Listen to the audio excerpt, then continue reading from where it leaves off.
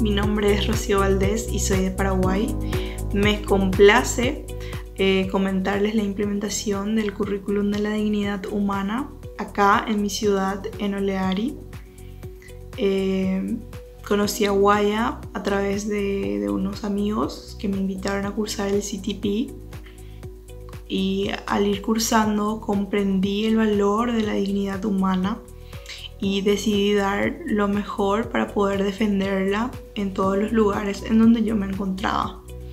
En el proceso de crecimiento eh, en Guaya, pues conocí lo que era el, el el currículum de la dignidad humana. Eh, me gustó por, varios, por varias razones.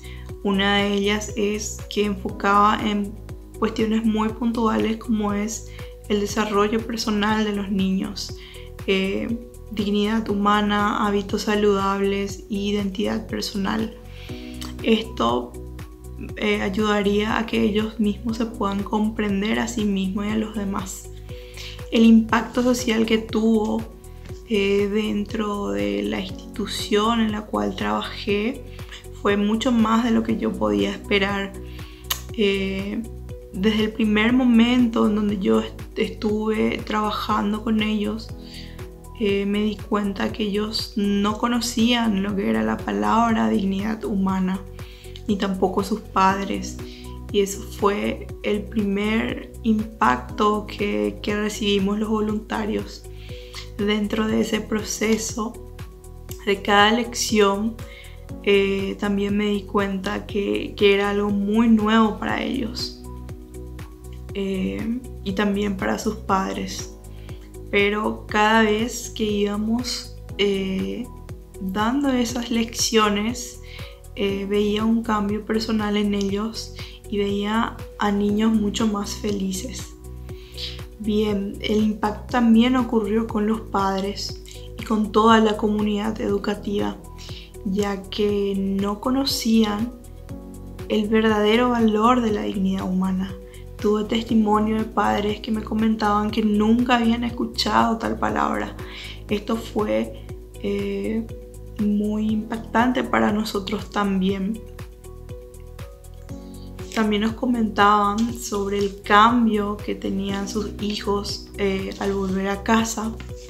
Empezaban a enseñar sobre la dignidad humana a sus vecinos, a sus amigos y a gente de su entorno.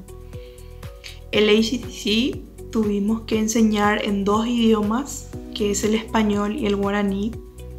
Eh, ya que hablamos comúnmente acá en guaraní, pues lo tuvimos que enfocar de esa manera, eh, fundamentalmente por, por el tema central que es que todos somos iguales en dignidad y que nadie puede sacarnos nuestra propia dignidad, ¿no? Personalmente cuando era niña nunca tuve este tipo de educación.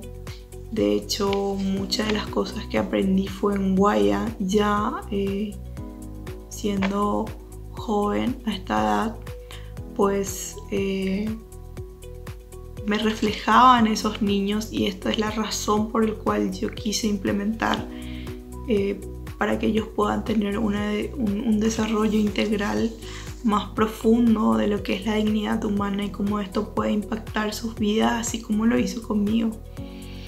El ACDC es la mejor herencia que un padre o una institución puede dejarle a los niños. Para mí el ACDC, el ACDC es esperanza. Es por eso que eh, fomento que puedan ser aplicados en las instituciones públicas y, y también por los padres en sus hogares.